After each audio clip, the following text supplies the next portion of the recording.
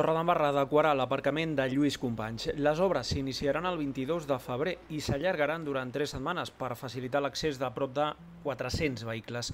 Es preveu l'aportació de runa neta reciclada per explanar i compactar el terreny i anivellar la rasant d'accés al mateix pàrquing. El pressupost de l'obra serà de 27.000 euros. Es preveu a banda una segona fase d'asfaltatge i pintura. Es tracta d'un projecte més en l'estratègia de millora dels aparcaments de superfície gratuïts, engegada des de la regidoria de Via Pública i Manteniment de Torredembarra.